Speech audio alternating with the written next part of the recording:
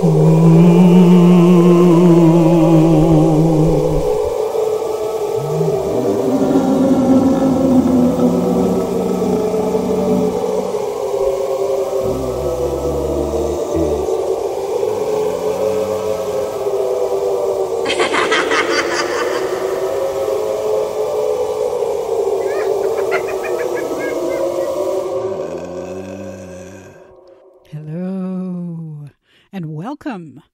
to episode 409 of From Paper to People podcast, brought to you by Ancestors Alive Genealogy, also known as Skelly Rellies 2021.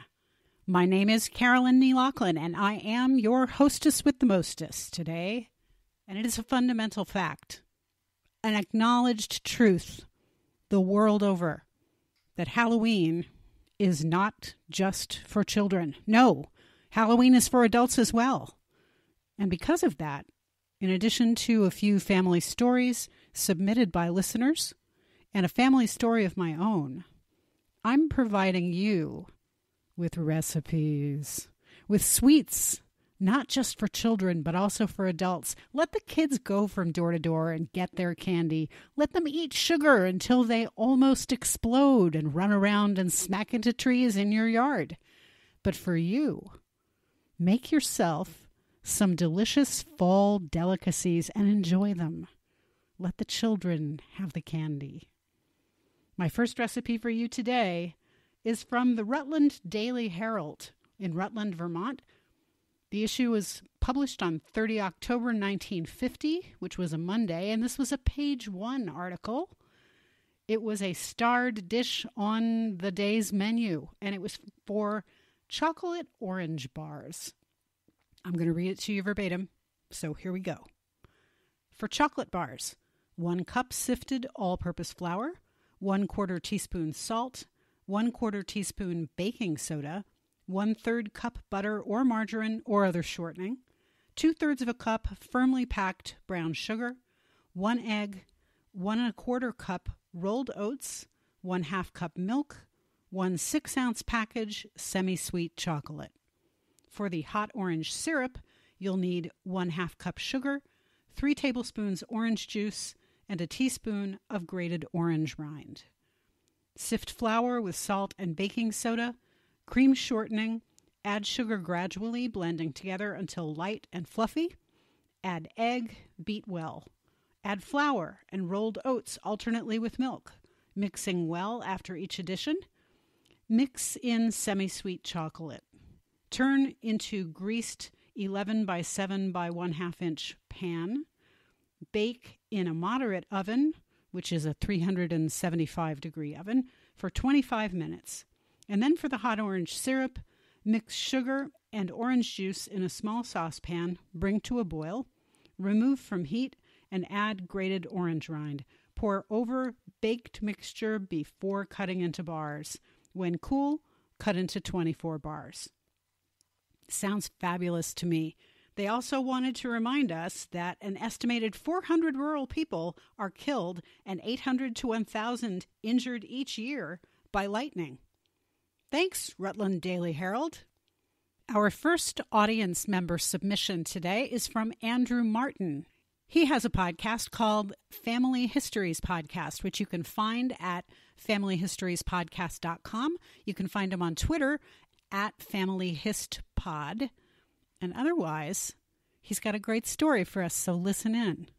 Hello, Carolynn. It's Andrew Martin here from the Family Histories podcast, and I've got a spooky story for you that I think involves one of my relatives. It begins on, yes, 31st of October, but in 1866, in the cathedral city of Ely, which is about 12 miles north of Cambridge here in England. On this night, Jeremiah Newell, that's a common surname, had been drinking in the Royal Oak Public House on Back Hill. He'd had a great time and he'd got drunk, and he made his way around the corner to Potter's Lane. Potter's Lane was quite a poor part of Ely at that time, and he chanced across a nice, soft, warm bed. Right there in the street. In reality, it was a steaming, warm heap of manure. It's reported he slept there and I quote, was seized with cramp and died suddenly. An inquest was held and he was buried a couple of days later. By the 17th of November, though, according to the residents of Potter's Lane, Jeremiah was back and was even reported in the Cambridge Chronicle newspaper. Jeremiah's ghost was first seen by an elderly lady, who then told her neighbour, but the neighbour didn't believe her.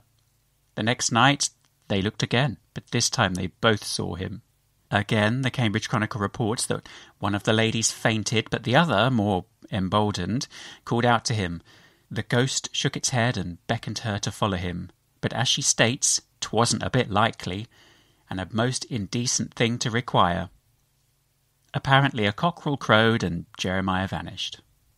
Also, apparently, the next day, some of the residents of Potter's Lane were threatening to leave, so plans were made to call a member of the clergy to lay the ghost. There's no report to say whether that did or didn't happen. Obviously, as a genealogist, I can't just leave that story there, so I brought a copy of the death certificate. Jeremiah Newell did indeed die on the 31st of October in 1866 at Ely. He was aged 50 years. Sadly, the location of the death isn't noted. It just says Ely. It doesn't say Potter's Lane. It doesn't say the Royal Oak. But it does state that he died of, and I quote, congestion of the brain occasioned by drunkenness exposure to cold, a fall while in a state of intoxication. Sadly, the inquest has not survived. Whilst I'm not 100% sure he is a relative, his location, time period, surname, and even his name, Jeremiah Newell, makes it highly likely that this supposed ghost is somewhere haunting my tree, and possibly the modern residents of Potter's Lane. That one was ghost approved. And now I'm going to scare you with a recipe. It's not really that bad, but it's from the Tribune in Scranton, Pennsylvania, dated 26 October 1934, which was a Friday, and it was on page 10. Halloween recipes. Other Halloween recipes not included among those awarded prizes, but deserving of mention, are printed below. Black and Gold Cobbler submitted by Miss Margaret C. Young of 1510 Lafayette Street.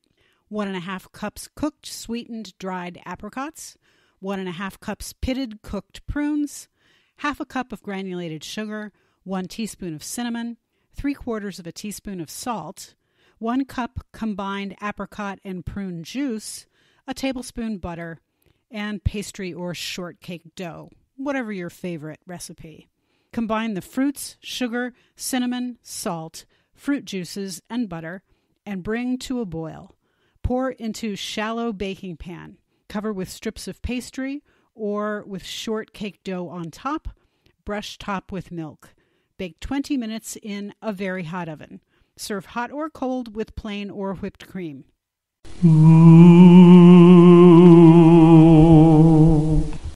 Mmm, tasty. And speaking of tasty, I have a recipe for you. Did you like that segue? This is something that my mother used to make for me on demand because she was very sweet and I was kind of obnoxious. When I was in college, she would say to me, Well, you're coming home for Thanksgiving or you're coming home for Christmas. What would you like me to make you while you're here? And then we would pack as many delicious foods into that break as is humanly possible. She was an amazingly gracious woman, my mother. One of the things that I always asked for was apple crumble, aka apple crisp, and it is absolutely delicious. It serves four to six people. The recipe comes from someone in Australia, which is kind of interesting because I didn't know mom knew anyone there, but she got it from Australia and it is fantastic. The taste of fall, and it's a wonderful way to cap a meal or to have with coffee or something like that, you know. So let those kids have the Milky Ways. You have some apple crumble instead. And here's what it takes two pounds of tart green cooking apples, such as Granny Smith, although she used to mix in McIntosh apples because they were different textures and had slightly different flavors, so it gave it more range. What you do with those apples is you peel them, you core them, and you slice them. Then you need a quarter of a cup of apple cider, three quarters of a cup of flour, a half a cup of sugar, a half a cup of packed brown sugar, three quarters of a teaspoon of cinnamon, and I go for it. I get the Vietnamese cinnamon. Oh, it's so good. A half a teaspoon of nutmeg, a pinch of salt, and a stick of butter or margarine. Put the apples in a shallow two quart baking dish. Pour the cider over. Combine flour, sugars, cinnamon, nutmeg, and salt in a medium bowl. Cut in the butter until the mixture is crumbly. You can cut in butter either by using two butter knives and cutting it crossways with the stick of butter lying in the flour so that it gets cut up into little pea sized pieces or smaller and it's blended well with the flour or you can use a pastry cutter. And I'm not sure how many people have those these days, but it's a handle that fits in your palm crosswise so that you're hanging onto the handle. And it has a series of wires that come down in a half circular sort of oval loop from either end of that handle so that you can mash down and it will automatically start to cut that butter into pieces. So, what you do is you cut it in until the mixture is crumbly and then you spread that over the apples. You bake it in a preheated oven until apples are tender and the topping is light brown, which is 40 to 45 minutes in a 350 degree oven. Serve it warm. And if you want it the way that we had it, top it with ice cream. We liked it with vanilla ice cream, or you can put whipped cream on there. Mascarpone wouldn't be a bad idea.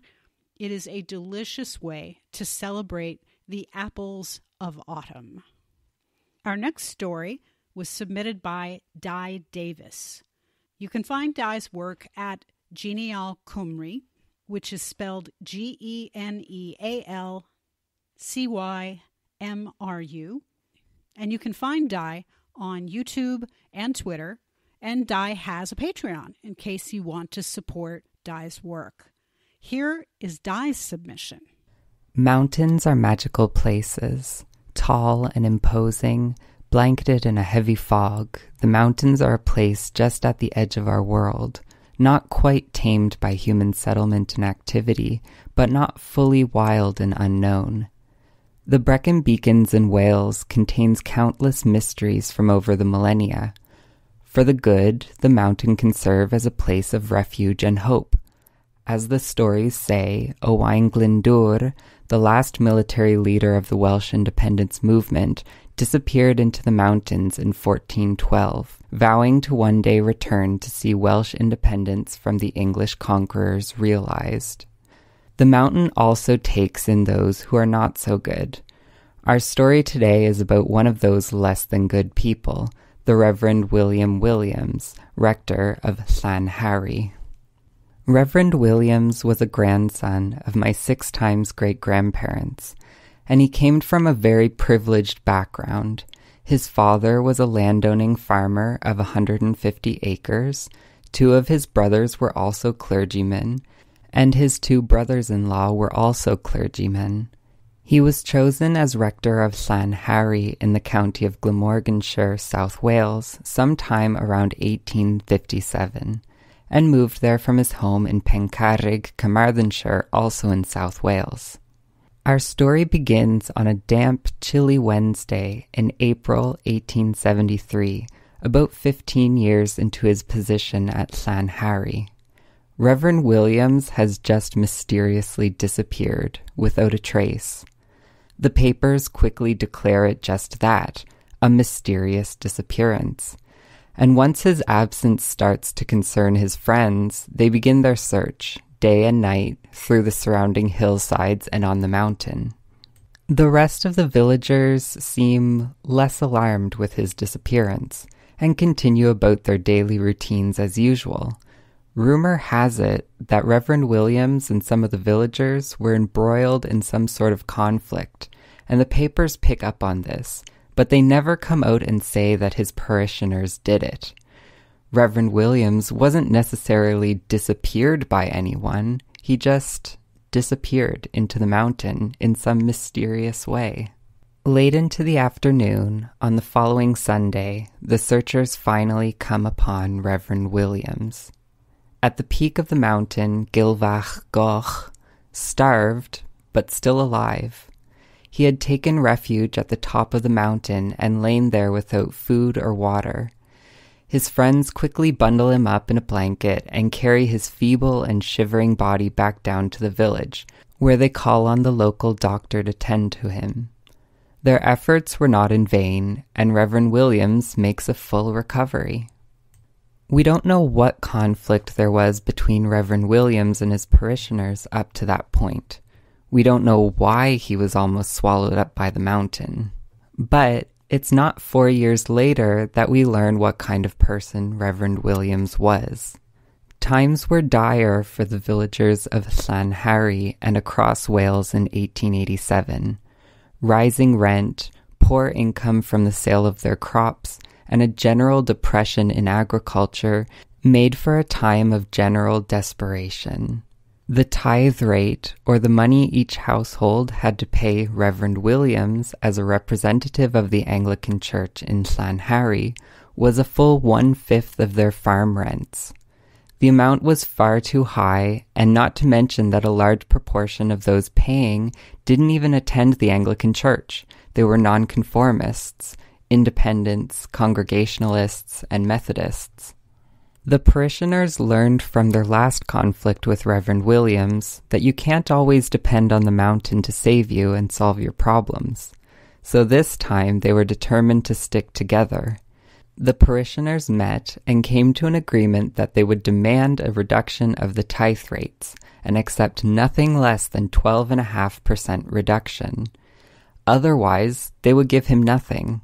So they drafted a letter suggesting a 20% reduction in the rates, prepared to negotiate with Reverend Williams. Reverend Williams' response was this I will allow you 5% and no more. Had you asked in a humble and peaceable way for 10%, I may have felt more for you, but you demanded 20% rather than come to me on a bended knee. Reverend Williams refused to meet with the parishioners and also refused to even send his collector to discuss things. Upon the tithe collections, the parishioners paid the collector their dues, minus the 12.5%. The collector told them that if they didn't pay the full amount, he wouldn't accept anything, so the collector ended up leaving with 32 pounds of the full 280 pounds.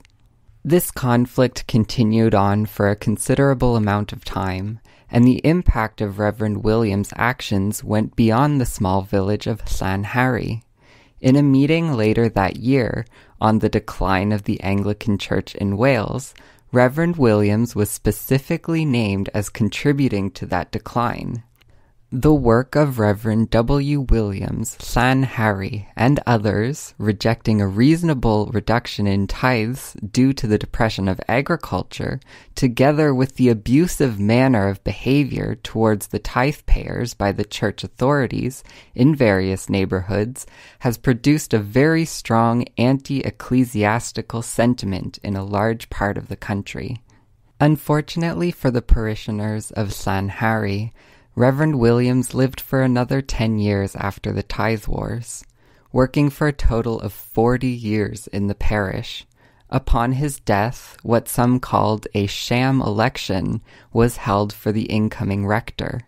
The polls were open for a total of 12 minutes, from 6:15 in the morning to 6:27 for voting. But it was the nonconformist villagers who packed the church pews to do so they ended up electing an Anglican rector who was sympathetic to their cause, much unlike the now dead and disgraced Reverend Williams. Following his death, there was no announcement of his passing. There was no recounting his life, no celebrating his 40 years in the parish. He's just forgotten. So the morals of the story are these. Be a good person and don't exploit the people that you hold power over. Don't give the mountain a reason to claim you too. And secondly, if the mountain fails to liberate you, come together as a community to fight the powers that choose to oppress you.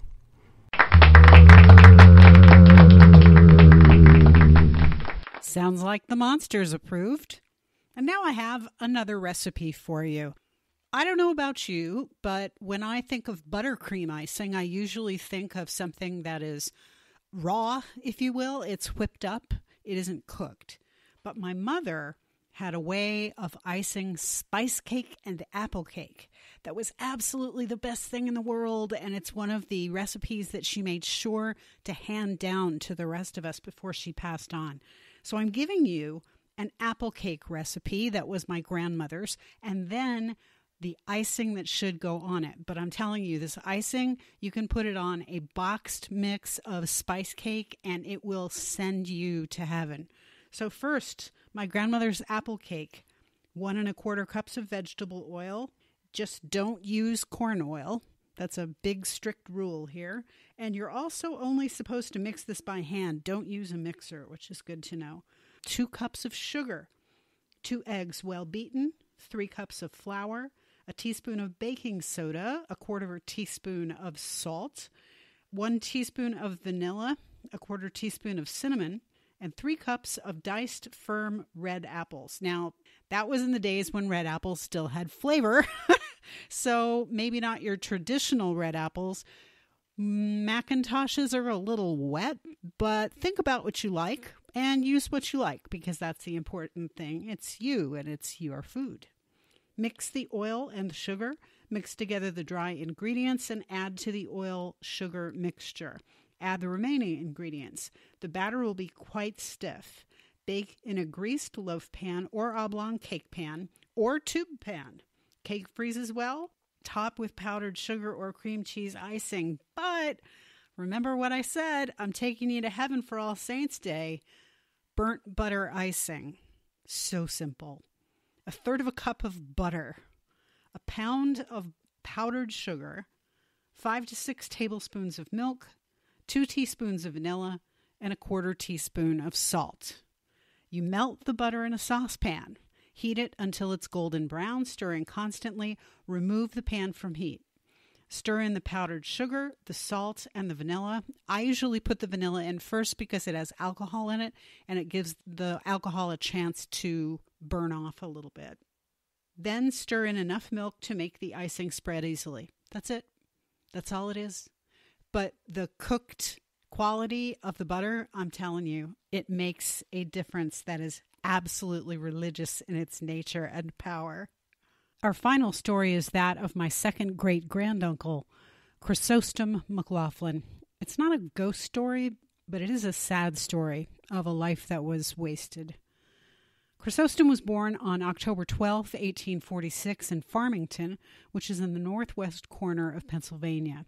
His parents were Irish immigrants from the north of Ireland. Chrysostom's father, Charles, and his first wife, my third great grandmother, Elizabeth McCall, had arrived in the area in about 1830, as did five of Charles's brothers and one of Charles's sisters eventually. Charles had three children by Elizabeth, who apparently died in childbirth in 1838, and then had six more with his second wife, Margaretta Downey, who died in 1848 also in childbirth. The oldest sibling was Sarah, a sister born in Ireland before the crossing, who never married. She served as Charles's housekeeper and right hand, helping to raise her siblings. Clarion County was mountainous, lush, with forests and rivers, and ripe for farming. Charles was a farmer and a lumberman, as were many in the area. Others worked in smelting and, when the boom arrived, in pumping oil. Chrysostom started on the farm, but was a coal miner for most of his relatively short life. The first notable fact of Chrysostom's life is that in 1877 he fathered a daughter with a single woman named Margaret Walsh. She was 20 years old, he was 31. Margaret named their daughter Mary and remained with her own parents, while Chrysostom's father, Charles, adopted Mary, or so says the 1880 census. Chrysostom was living in the same household, but apparently may not have been personally claiming responsibility. It looks like his father and his sister Sarah, who was also living in the household, were answering for Chrysostom's actions. Later in life, Mary carried the McLaughlin name as her middle name and went by Walsh until her death. In 1886, Chrysostom, whom my cousins referred to as a ladies' man, had a son with another single woman, Mary Magdalene Steiner. He was 40, she was 19. Their son, Peter, was raised by Mary Magdalene's parents and did not carry the McLaughlin name either. There is currently no evidence that Chrysostom was involved in his son's life in any way. Chrysostom's birth family suffered the loss of one son, Marcus John, in the Civil War, two mothers, both in childbirth, and another son, Chrysostom Christian, to disease at age 16. They obviously knew sorrow, but for the era, no more so than other families. I've never understood then why Chrysostom's life was in such disarray and why he continued to live with his father even after his 30th birthday.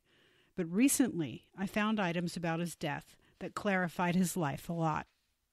My family knew that Chrysostom challenged his father's will in 1890, two years after his father's death. There was some speculation that Sarah, eldest sister and executrix, was trying to break the will to benefit her remaining full brother, Charles, my second great grandfather. Perhaps there had been hard feelings between the two sets of half siblings. Perhaps Charles had PTSD. Charles had fought for Pennsylvania in the Civil War, was wounded, and returned to battle just in time for Gettysburg. But it turns out, reading between the lines of newspaper accounts, PTSD was not the problem. Chrysostom was. Sarah wanted to prevent Chrysostom from receiving his inheritance because, in addition to fathering two children out of wedlock, Chrysostom had the disease of alcoholism, and she thought he might drink the money away. Much to Sarah's dismay, I'm sure, Chrysostom won the case, receiving an inheritance that he'd likely put to waste. I didn't know about this until I found two local newspaper articles, but Sarah was right to be concerned about his fate. According to the local paper, the Clarion Democrat, there had been almost 15 inches of snow in the forest covered hills of Clarion in December of 1893, so it must have been cold on December 30th, the day that Chrysostom died. The Clarion Democrat printed two reports on Thursday, January 4th, 1894. The first report on page 5 states Chrysostom McLaughlin, a coal miner by occupation, who lived alone in a shanty near Fryburg, was discovered in his quarters in a dying condition last Saturday morning, and although prompt effort was made to resuscitate him, he did not regain consciousness, but died the same day. His death is attributed to strong drink and exposure. The other account, not as kind, was in the gossip section on page 8 and read A rumor came to town on last Sunday evening that Chrysostom McLaughlin was found dead in his bed last Saturday morning. It is reported that he was under the influence of liquor for several days before his death. He lived near Snydersburg. Chrysostom's will was executed by his full brothers, Thomas and Edward McLaughlin. I haven't seen the will, so I don't know how he disposed of his property or indeed how much was left by 1893. I don't know whether he acknowledged his children or left anything to them. I hope to see that along with Chrysostom's death certificate soon. Once his father died in 1888, Chrysostom had to move out of the family farm. Unfortunately, there is no extant 1890 census for the area, so it's hard to know some of the finer points of who lived where in the year of the court case. But by living alone in Fryburg, he remained a stone's throw away from most of his siblings and all of his cousins, even as he had alienated some or many with his choices and in his disease. But not all relationships surrounding Chrysostom were bad, apparently. His son Peter Steiner had an aunt, Margaretha Steiner, who was a year younger than Peter. Peter and Margaretha grew up together as siblings, and Margaretha married one of Chrysostom's nephews, George Edward McLaughlin, whose father, Thomas, was one of Chrysostom's executors. This tells me that overall, the families did manage to get along. As a researcher, I like the morbid, I have to say. It's one of my strengths and one of my failings. My main takeaway from this story is that Chrysostom was an alcoholic who couldn't stop drinking, who made bad decisions throughout his life that deeply affected others, and who ultimately was too drunk to keep the stove lit in a cold and snowy winter. As a result, he died just three years after winning the court battle that awarded him an inheritance worth $64,948.17 in today's money. In my work, I always focus most on the family members who were single or those who lived deeply tragic lives. I'm particularly intrigued by those with alcoholism or mental illness. My cousin shared a photograph with me. It's a portrait of Chrysostom from roughly 1870, and he looked to be quite the dandy. But the paper trail shows that he was a mess. His daughter, Mary McLaughlin Walsh, never married and never left the area. She was a nurse. His son, Peter Steiner, married Ida Schill and had five children. He never left the area either. He only seems to have taken after Chrysostom in one way. He, too, was a coal miner. Both Mary's and Peter's death certificates show that Chrysostom was their father, but beyond that, his effect on his children's lives is unclear. Such was the life and legacy of Chrysostom McLaughlin, died at age 47, one of many tragic figures in my family tree. That last story was so depressing that the monsters and the ghosts don't even have anything to say about it. So we're going to leave on a positive note with a couple of recipes from a 1935 newspaper for pumpkin things. It says new pumpkin recipes. This is the first time for new pumpkin recipes when the housewife and nearly everyone else becomes obsessed by the thought of any pastry in which the golden fruit of the pumpkin is offered. While perhaps there is nothing better than the well made, old fashioned pumpkin pie, many women like to know some new ways of making the historic Thanksgiving dessert so they can have it oftener during the pumpkin season. Oftener from the Cincinnati Enquirer on 11 October 1935. Here are the recipes caramel pumpkin pie or tarts. Combine one and a half cups of canned pumpkin, although, of course, you can bake your own pumpkin and use that fresh, which I highly recommend. One third of a cup of sugar, a few grains of nutmeg, a half a teaspoon of cinnamon, a half a teaspoon of ginger, and a half a teaspoon of salt in the top of a double boiler and heat it. Add three beaten eggs, caramelize two thirds of a cup of sugar, then dissolve in one and a half cups of hot milk and add to the pumpkin. Pour in pastry lined pie tin or tart shells. Bake in a 450 degree oven for 10 minutes, then 325 degree oven for 30 minutes or until the knife comes out clean. Serve topped with whipped cream if desired, one pie, or eight to ten tarts. That sounds fabulous, but there's more. Pumpkin mallow pie. Who could say no to that? Mix two cups of canned pumpkin, seven eighths of a cup of sugar, one teaspoon of salt, one teaspoon cinnamon, and one and a quarter teaspoons ginger in the top of a double boiler and heat until sugar is dissolved. Add three beaten eggs and a cup and a half of hot milk.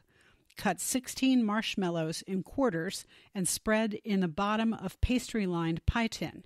Pour hot pumpkin mixture over and bake, having oven at 425 degrees for 5 minutes, then at 325 degrees for 30 to 35 minutes or until knife comes out clean. One pie. One marshmallowy pie. And finally, we have Brazilian pumpkin tarts, which actually have nothing to do with Brazil, but here we go. Heat one and a half cups of canned pumpkin, three quarters of a cup of maple sugar, one half teaspoon of salt, three quarters teaspoon of cinnamon, and one teaspoon ginger in the top of a double boiler. Add two beaten eggs and a half cup of hot milk and three quarters of a cup of chopped Brazil nuts. There's your Brazil. Pour into pastry lined tart tins and bake 450 for 5 to 10 minutes, 325 degrees until knife comes out clean. And that's 8 to 10 tarts. So for that period when it's 325 degrees, judging from the other two recipes, you're in the 30 to 35 minute range for baking at 325 the best thing that you can do when you have a recipe in front of you and it's an older recipe and it doesn't state exactly how to do something is to Google similar recipes and to use their procedure. So I didn't even have to Google, I just looked on the page. And with that, we close out another episode of Skelly Rellies. And I thank Dai and I thank Andrew for contributing. I thank you all for listening. And please think about contributing a story of your own next year because I really like featuring the things that you do. Happy Halloween! And remember, do your research. Don't let those Jeffries rattle your bones. And above all, expect surprises.